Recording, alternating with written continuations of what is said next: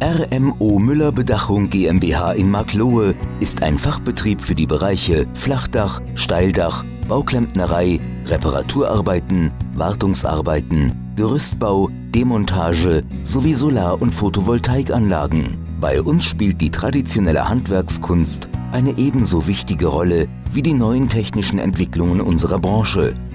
Auch für Ihr Vorhaben rund ums Dach finden wir als professionelle Dachdecker und Bauklempner die optimale Lösung.